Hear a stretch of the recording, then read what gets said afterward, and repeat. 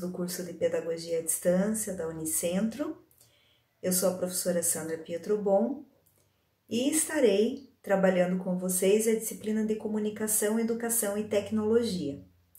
O intuito deste vídeo é explicar as unidades de autoestudo e as atividades da disciplina para que vocês tenham um panorama mais geral do que iremos trabalhar na mesma.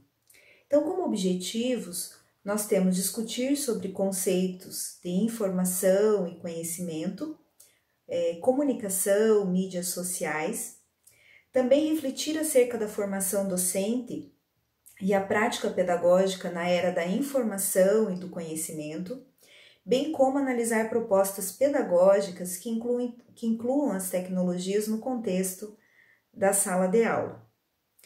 Na unidade de autoestudo 1, nós temos como tema a sociedade da informação e conhecimento e sempre nós estaremos focando no papel do professor.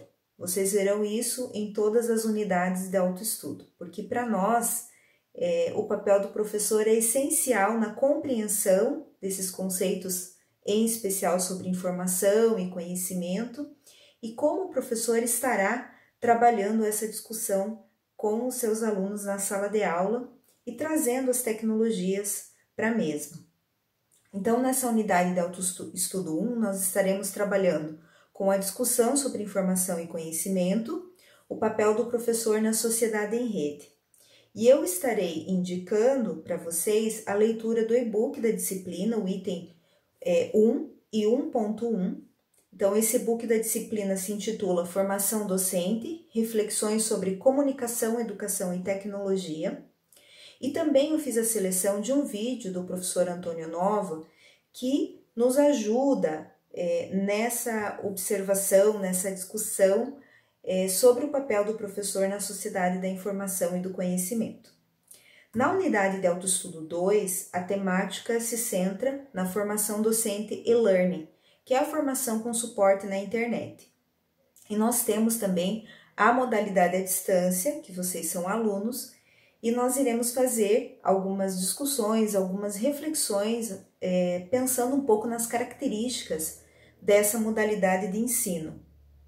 Então, o professor no contexto e-learning é um pesquisador, um organizador do conhecimento, alguém que relaciona o conhecimento com a realidade um profissional, portanto, do sentido, como nos diz Gadotti, que é um dos autores nos quais é, eu me centro, né, me amparo para a realização das discussões na disciplina.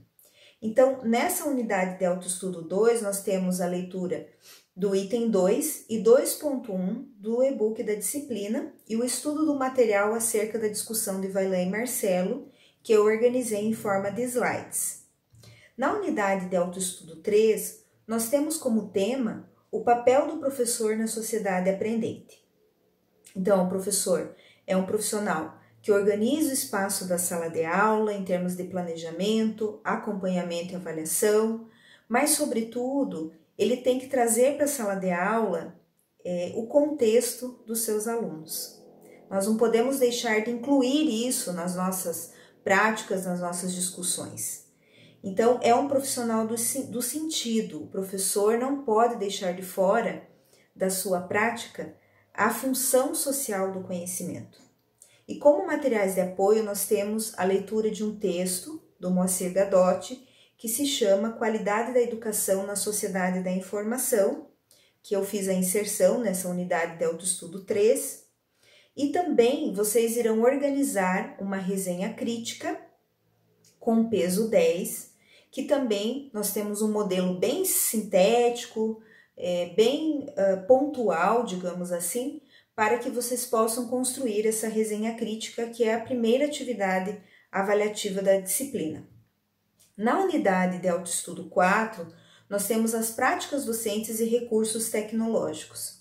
Então, mais do que estarmos refletindo sobre a necessidade uh, de inserção dos recursos tecnológicos no nosso planejamento, nós também temos que pensar é, em discutir com as crianças, com os adolescentes, justamente qual é a importância de nós fazermos essa seleção do que lemos, do que trabalhamos enquanto é, professores e eles também, como cidadãos que são, né? Sujeitos sociais de direito. Então, nós temos que fazer essa discussão com eles sobre é, o que de fato é, é importante em toda essa gama de informações que recebemos. Então, por isso, a necessidade de uma leitura mais analítica, até para que nós possamos diferenciar o que é de fato uma notícia, uma informação que pode ser transformada em conhecimento e o que são as fake news, por exemplo. Então, os recursos tecnológicos eles podem estar atrelados aos conteúdos, é, mas como um suporte à prática pedagógica. Nada exclui o planejamento, é, nada exclui a, a participação do professor nesse processo de construção do conhecimento dos seus alunos. E também nós temos nessa unidade de autoestudo a leitura do item 3 do e-book da disciplina. Na aprendizagem baseada em pesquisa, vocês farão uma atividade prática de pesquisa individual com peso 20, que eu explico todos é, os aspectos relacionados a essa atividade, mas basicamente vocês farão é, uma seleção de três artigos, que pode ser também algum material didático, desde, desde que esteja é, teoricamente embasado, e vocês farão uma análise é, desses artigos. Então, eu faço a indicação de pesquisa, por exemplo, no Google Acadêmico, no portal de periódicos da CAPES, no Cielo. Então, para que nós possamos fazer uma análise desses artigos com a temática o uso de recursos tecnológicos e a prática pedagógica. Então, será uma pesquisa individual bastante interessante, eu acredito, e que tem o peso 20, como eu falei. Na sequência, na aprendizagem colaborativa, eu fiz a proposição de participação em um fórum com peso 10. Então, neste fórum, vocês irão contar quais foram as aprendizagens nessa atividade individual de pesquisa. Eu tenho certeza que nós teremos é, vários comentários interessantes.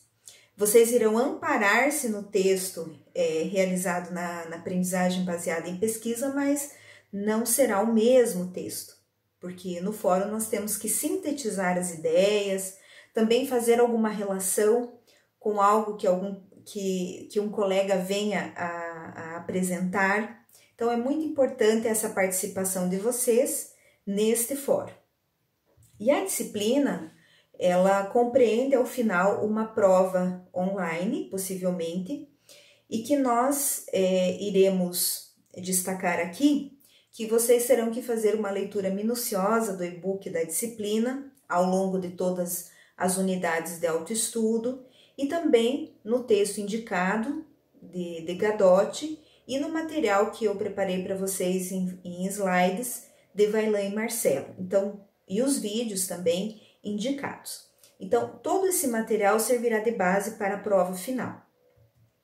O nosso chat semanal será às quartas-feiras, às 20 horas, no qual nós estaremos conversando sobre o que vocês leram, as dúvidas, as dificuldades, e eu coloco para vocês que esse chat é fundamental. Então, que vocês participem, que vocês perguntem, conversem e possamos construir aí também conhecimentos acerca da temática da disciplina.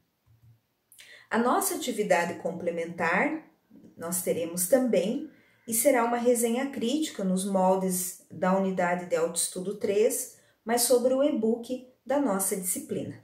Eu desejo a vocês ótimos aprendizados na nossa disciplina. Eu estarei à disposição no nosso chat semanal e desejo a vocês bons estudos.